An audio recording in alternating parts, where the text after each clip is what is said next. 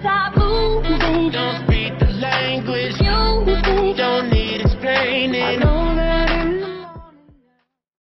What is up, guys? Expert Women here, but you call me Dominic. We are back here with Arrow Season 8, Episode 7 review. So, let's do this. The show starts with the team on Lian Yu. They talk for a bit, and then Lyla comes out of the tent and tells the team that they need to build a bomb.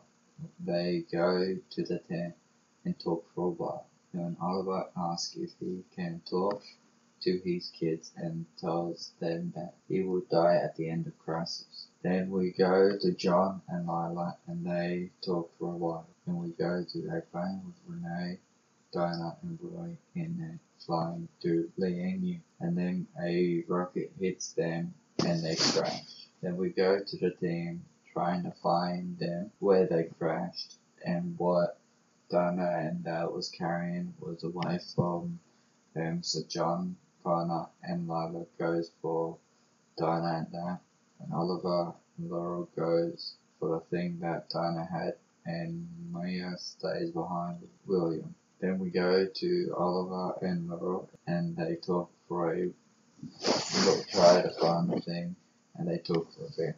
Then we go to Mia and William, and they talk for a bit. Then we go to John, William, Connor, and Lyla, and they were looking for Dinah Rene and Roy, but they finally found Rene and Dinah as Rene is injured and they don't know where Roy is. So Lyla takes Rene to the tent and John, Connor and Dinah takes look for Roy. Then we go to Oliver where he has the thing that they were looking for, but a guy in a Deathstroke mask has Laurel and Fry, Fry, Fry, comes out and they tell for a bit on how Oliver killed him. Then at, at um the beginning of season one, I guess. I don't know. I don't know who that was. Then guys with guns come out and is about to shoot Oliver as he takes back, shoots back and Fyers runs away. So Oliver tells Laurel to give the thing back to old William. Then Oliver goes after Fyers. As Oliver is looking for Fyers, he gets shot by an arrow catches it, and the guy who shot shoot the arrow is Yao Fei, and they talk for while. Then we go to John and, that as they look are looking for Roy. Then they find him, but his arm is trapped. They try and pray, get him free, but the thing on his arm is heavy. And uh, Laura comes and tries to help him, but they can't move it, so they have to cut his arm off.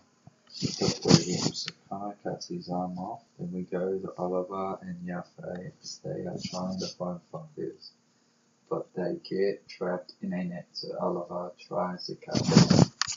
Then we go to Roy and the team in the tent. They try to stay there.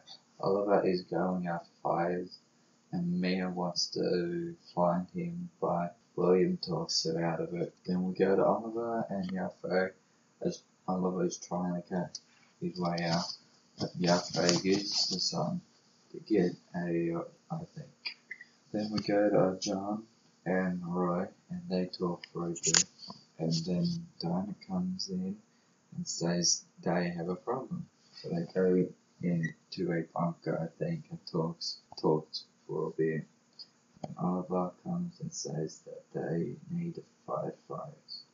So they go to fight Fyers and fight Fyers and his group. But Oliver has to go to the bunker for the bomb to work because he needs his DNA sequence or something like that. So he goes to the bunker with John and picks up the bomb, but it doesn't turn on because his DNA does not match, but Lyla's does. So she picks it up, the bomb, and it works. But Lyla says, oh, it was a huge flash. All the guys that were fighting, firemen, disappeared and that. So uh, then she says she has to go Then she goes through a portal. Then we go to the team in the tent, and they're packing up, and they talk for a bit. The other robots that talk to Danae, Dinah and Rene, so they talk for a bit for a goodbye speech, I think. So Dinah and Rene will probably not be in Crisis on Infinite Earths. Um, then we go to Roy and Oliver, and they talk for a bit. Then William comes in and tries to give um Roy the thing that he gives him in the future back, but he doesn't accept it, accept it or something. He doesn't want it, so. And so that means Roy will not be in Crisis. Obviously, he has one arm. How can he fight? So yeah.